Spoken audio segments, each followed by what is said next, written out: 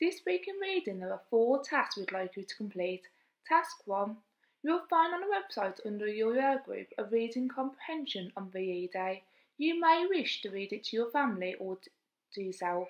When you answer the questions, remember to find the key words in the question to help you find the right place in the text. Don't forget the subheadings are in bold and these may help direct you. The second task is to find a news article about VE Day. You'll find many examples online in newspaper archives. Read the article and highlight any new words, then use a dictionary to find out their meaning.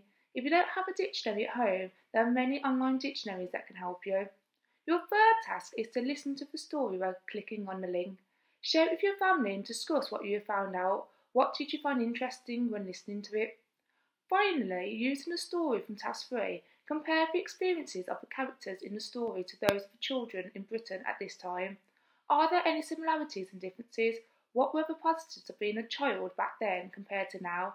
Think about how you could present this information. Drawings, writing, comic strips, for choice is yours.